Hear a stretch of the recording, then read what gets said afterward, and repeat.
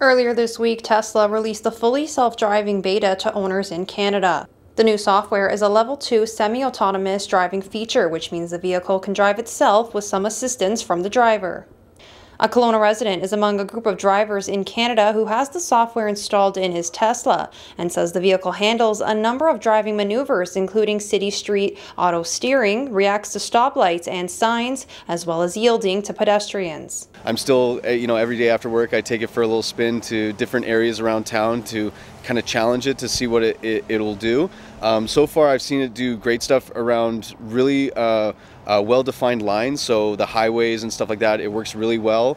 Um, I'm finding little edge cases around uh, cities or around city streets where maybe the lines aren't painted or there's a weird intersection with weird angles. Um, but all of that gets sent to Tesla. Uh, if you uh, notice anything that it reacts in a way that uh, isn't safe or a way that you think should be fixed, uh, there's a button on screen that you can just tap and it, it sends all the information that the cameras collect as well as the inputs like the steering, the braking and stuff like that. Um, and within two weeks, uh, hopefully it gets fixed. While the system is impressive and filled with new features, the software can glitch at times when entering an area it is unable to read, prompting the driver to take over. What I've noticed is that it brakes probably more than what you would want. Uh, so it, it is very cautious. There are times where it will try to do kind of the wrong maneuver. So for instance, like a left turn at an intersection where it might be a, a double lanes on one side, it'll maybe accidentally take the wrong lane on the left turn, so the outside lane.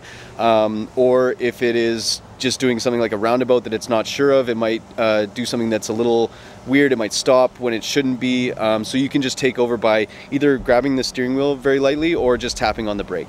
The cost of the technology is $10,000 and can be purchased when the car is bought or any time after. A safety test conducted by Tesla is also required when purchasing.